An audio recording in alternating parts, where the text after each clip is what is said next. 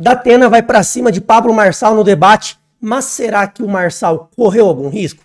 Shalom Caveira, tudo bem? Wesley Jimenez, perito forense, especialista em segurança e defesa pessoal. Bem, muita gente me marcou nesse vídeo onde o Datena supostamente teria ido para cima do Pablo Marçal e eu quero trazer para vocês uma análise para saber se o Pablo em algum momento correu ou não correu risco de ser agredido pelo apresentador Luiz da Atena. Vamos ver esse vídeo na íntegra e eu vou voltar aqui com vocês em alguns pontos para saber se o Pablo se posicionou corretamente, se não se posicionou, o que, que você pode tirar de lição de defesa pessoal. Porque de debate é só baixaria, né? Mas vamos lá, bora, vamos assistir esse vídeo junto aí. Atena quer combater o crime organizado, fica só com o TP, o teleprópter lá, nunca fez nada, eu entendo o que você passa. Você é um playboy, multimilionário, não entende nada do que você tá passando. Ficar mandando É, pau tá no PCC aqui né? é fácil. Eu quero Atacando a ver pessoa você indo direto lá da na Atena rua, ali. onde o pau quebra. Da Atena já tá Nunca nervoso. teve o celular roubado. E no TP macho, e chama Ixi. todo mundo de bandido. Aqui, ó. Entra a segurança, por Fica bem aqui, ó. Segurança, Já tá por valendo favor, aqui no tempo? palco. Ah, que isso? Por favor. Provoca mais. Datena, por Quer favor, ser não pode prefeito ou ditador? Datena, retornem. Por favor. Fica bem aqui, ó. Segurança, Já tá por valendo favor, aqui no tempo? palco. Ah, que isso? Por Está favor. desequilibrado. Vixe, ainda tem provocação. Pessoal, vamos lá, eu vou tirar o áudio aqui, eu quero trazer algumas coisas importantes para vocês sobre essa análise. Aqui você está vendo que o Pablo vai atacando diretamente, né, o Luiz da Atena, e ele vai ficando incomodado. Você vê que na expressão facial do Datena ele já está incomodado, você vê que ele cerra os olhos, ou seja, uma, uma feição ali já de, de raiva, começa a responder. Agora, o que tem que chamar atenção aqui é o momento do deslocamento para saber se há ou não alguma ameaça real. Aqui, vamos ver como é que o Datena caminha.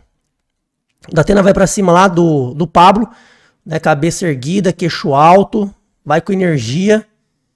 Ok aqui. Isso aqui é muito importante, pessoal. Você vê que o Datena tá com os pés paralelos, ou seja, nessa posição ele não tem muita base, e o Pablo tá atrás ali do, do microfone. Muita gente me perguntou, Wesley, nesse contexto aqui, ó, que os dois estavam discutindo, houve um risco do Pablo Marçal? Ele errou na defesa? Não, não tem erro aqui. E eu vou te explicar o porquê. O que, que a gente fala sobre controle de distância? Que você tem que manter o agressor a mais de um braço de distância. Aonde o Datena estava aqui, ele não conseguiria golpear o Pablo Marçal com facilidade.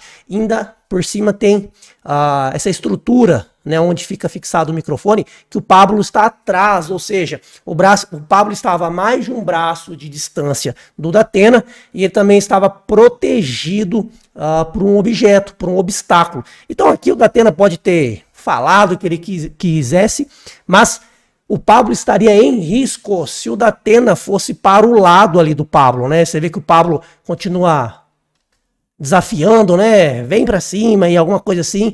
E você vê que o Datena se posiciona. O Datena eu acho que mais deu um migué. Ah, que eu tô nervoso. Acho que o Datena quis mais gerar uma mídia, uma repercussão do que realmente ir pra cima do Pablo Marçal.